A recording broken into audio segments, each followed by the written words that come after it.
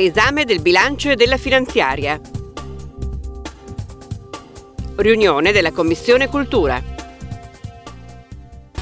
Sette giorni in consiglio. Nella settimana si sono svolte le riunioni della prima commissione sull'esame del bilancio e della legge finanziaria. La Commissione Cultura si è occupata dell'offerta formativa delle autonomie scolastiche piemontesi. In primo piano.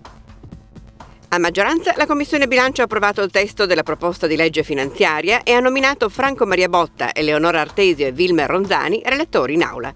Il testo è limitato alle disposizioni che appaiono indifferibili e urgenti. Nei prossimi giorni proseguono i lavori della Commissione per completare l'esame dei provvedimenti legati al bilancio.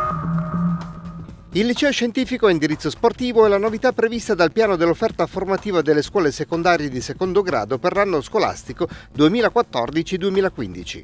A maggioranza, astenuti Partito Democratico e Federazione della Sinistra, la Commissione Cultura ha espresso parere favorevole alla delibera della Giunta che ora, dopo l'approvazione definitiva dell'esecutivo, verrà trasmessa all'ufficio scolastico regionale. La trattazione dell'argomento è stata ritenuta urgente in quanto sono imminenti le iscrizioni ai vari istituti scolastici.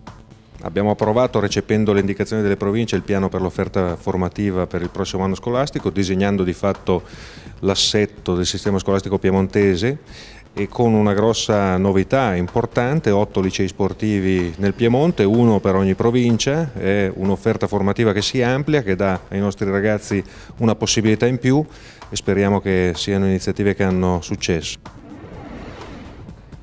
Piano dell'offerta formativa è stato approvato perché avere una di quelle incombenze urgenti, altrimenti le scuole non sanno come orientarsi per gli organici e per le iscrizioni. Come gruppo della minoranza ci siamo astenuti perché non eravamo d'accordo su alcune soluzioni che riguardavano la provincia del Barbano Cusi Ossola, siamo però contenti che siano state introdotte novità significative come la creazione del liceo sportivo e come l'assegnazione a un liceo storico importante come il Cavour del liceo coreutico.